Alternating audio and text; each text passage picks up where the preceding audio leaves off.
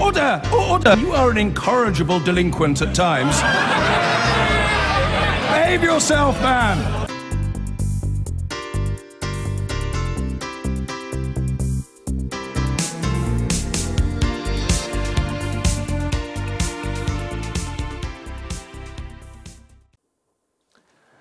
For the people of Northern Ireland, the threat of Irish Republican terrorism is still a worry, despite years of peace. To the rest of the UK, bombings like those in Birmingham or Guildford or London's Hyde Park do seem like something from another age. And yet, the threat from dissident Republican groups clearly has not gone away.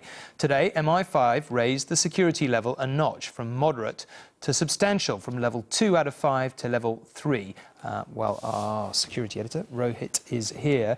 Rohit, I mean, you know, you, you, could wind back to the original IRA ceasefire in 94.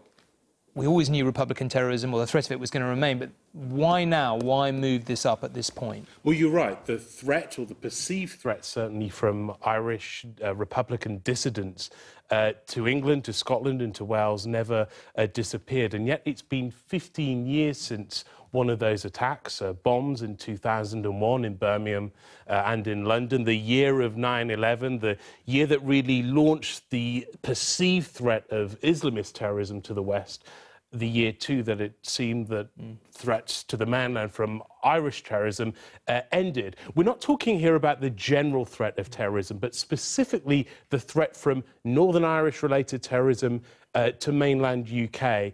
Um, and some of this is based on intelligence assessments, uh, observations of such groups working here in the mainland, but some of it is about human judgments, assessments uh, by spies of the capability and the desire of such groups uh, to launch an attack. Uh, a century on from the Easter Rising, almost to the week, in fact, um, there are particular concerns about one uh, specific group. But let's get this in context. The security services say they don't believe an attack is imminent or even likely. They're saying it's just possible. And they believe, too, that the primary threat remains to be from Islamist terrorism. OK, Rohit, um, thank you very much uh, indeed.